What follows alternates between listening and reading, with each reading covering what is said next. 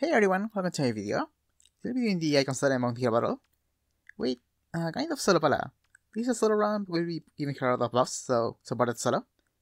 We have the Squad Flyers on Minerva. We have uh, Goad Flyers on High Speed, and the Sword, the sword Boss from Catria.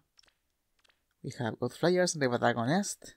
And yeah, Palla has this build with Attack Wave, Heavy Blade, Cancel Affinity, Hair White Wings Blade uh, Gale Force, and yeah, it's an counter.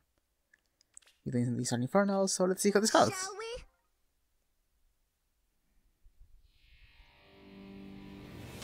Okay, so yeah, there's two really scary guys in this map.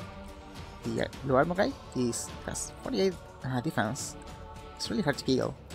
And this blue flying guy, he has Blood Blade, and there's a lot of buffs here, so he kills in one hit, I think, or maybe two hits, but one combat. But yeah, I want to try playing this too. We want to kill this healer here. Won't be able to kill the guy because the healer has flash. That's okay. But it doesn't take a lot of damage here. She's fine. Now I want to bait the Axe guy again.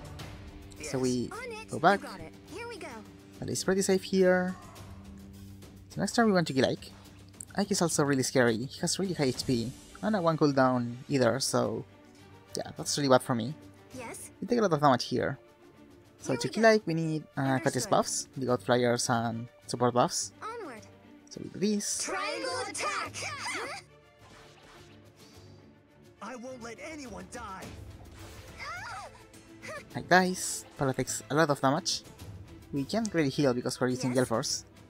But we can run away here, so that's really good. So we do this, Here we go. reposition away. Participating Okay. sudden here.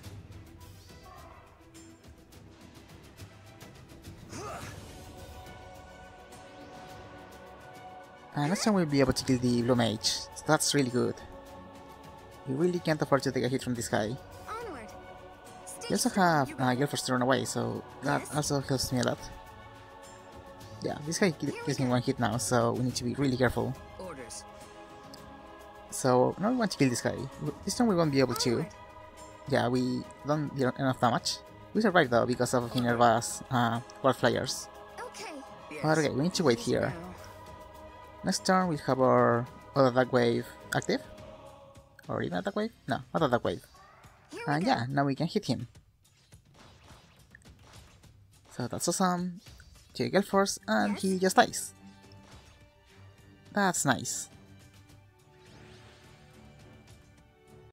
That was it for the video. Thank you so much for watching. Please consider subscribing, liking, and sharing. That always helps me. And feel free to leave a comment. Here you can check out my schedule for the week. And here you can find some of my other videos.